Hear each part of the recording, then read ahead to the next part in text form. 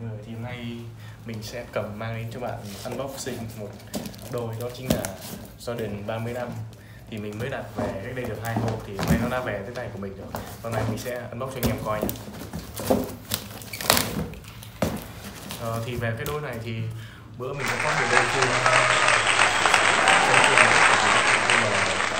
Nhưng mà mình cần gấp đôi này nên là mình đã nhờ một người chị bên Hàn pick up cho mình thế là hôm nay đã về được mình khá bất ngờ về mình tưởng ngày tầm chủ nhật mình mới nhận được. Nhưng mà hôm nay thì đã có về ship giao cho qua cho mình mình ăn bốc luôn cho anh em. Tại mai mình về gửi đi cho đứa em để sáng thứ hai nó đi thi đấu. Nào hôm nay mình ăn bốc luôn đây cho anh em coi còn do đến 30 năm này trên tay nó như nào. Ừ. khá là ok. Thì đây như đôi này thì có cái uh, like. Số của like đôi này được chị Bình gói lại khá là kỹ rồi nên là mình cho anh em coi qua. Thì như anh em biết đó, thì cái hộp hộp này khá đặc biệt nha. Này là đầu tiên mình thấy. Thì con này là do đền 30 năm thì bên ngoài hộp của nó khá hay khá hay. Đây cho tất cả những anh em mà chưa biết.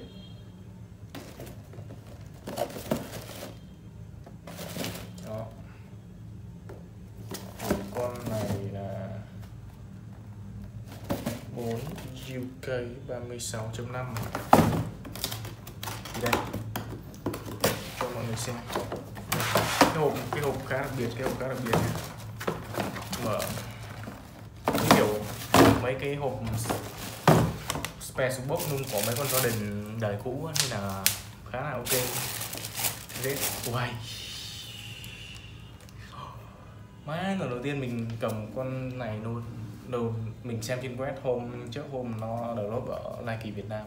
Thì hiện bây giờ nếu anh em thích thì vẫn có thể nên mua được con này trên web này của Việt Nam luôn. Để nó ship về tầm 7 đến 10 ngày gì đó. Thì đây. Con hand anh em coi. Đó size này bé quá nên là không ăn fit được đâu với lại đây là mình cũng mua cho một đứa em tại kiểu tặng nó thôi đó đây uhm. chất lượng đây à, cái này thì lấy pin hàng thì có cái tác.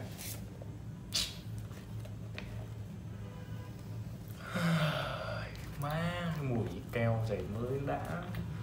Anh em. Đó thì mình nói sơ qua về con này mình có tìm hiểu sơ sơ qua trên giấy cơ của bên này thì người ta có đăng lên trên web thì mình vào đọc qua, qua. Thì đây không giống những con đường khác nào thì mày ở ờ, giữa cái phần đây nó khoét ra một lỗ. Ấy mình có thể nhìn qua các bạn qua cái video luôn. Đó. Thì nó khoét qua một cái lỗ này phần dưới, phần trong đây các bạn không thấy, nó để ở giữa, nó màu đỏ. Nhìn khá hay lạ lạ lạ mắt trông đẹp. Phần đây, để mình review cho phần thân dày thì cái đây nó làm như kiểu một cái phần lưới, một phần lưới này thì ờ, phần lưới này thì không biết mình, như kiểu là cái sợi cái sợi dây cước, cái sợi dây cước để các bạn gắn vô câu cá đó đó đó. Còn đây là phần ngoài đây, phần vải chỉ các. Còn về phần đây mình cũng không biết nó là cái chất liệu bằng nhựa xong rồi kiểu nhựa bóng nhựa bóng nó phủ lên đó, đó. nhựa bóng nó phủ lên.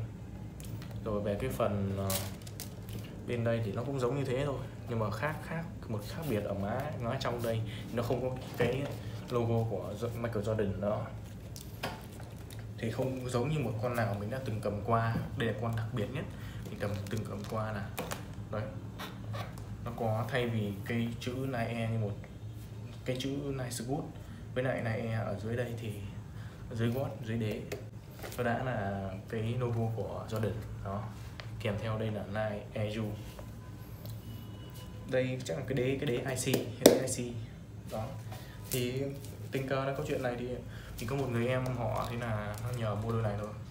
Tại nó đi thi đấu, mình không hiểu con này đi thi đấu được không, nhưng mà tôi thích thì có mình phải nhờ tới tận 4 năm người thì may ra check sai các thứ. Mình cũng mình cũng order một con 37.5 trên web của cơ giới nhưng mà bây giờ với kêu tầm 20 năm mới về kịp nên không có không có kịp được. Nó, cho lúc nó đi thi đấu nên là thôi, mình nhờ người chị bên Hà mua hộ. Thế là ship khá là nhanh nha đó, còn cái phần đằng sau gót giày, đằng sau gót giày là chữ line e đó, nó còn được đây, bên, trước bên trái cho các bạn thấy thì nó còn được ờ, khoét một cái được một cái miếng miếng như xốp đựng đây chắc này. Sợ nó gãy cái phần gãy cái phần line e với này ồ mình thấy khá.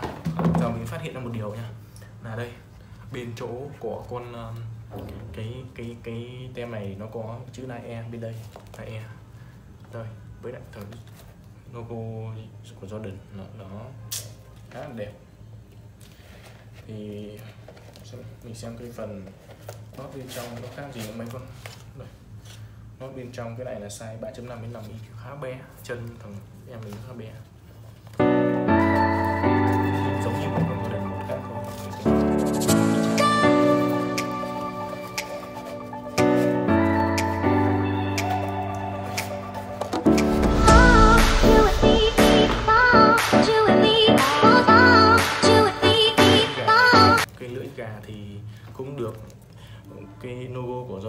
Ở trên đây, với lại cái đây, cái phần này, cái phần chắc là mình để xỏ giày cho mấy đứa con nít nó dễ thì dễ mang tất vớ các thứ ấy mà.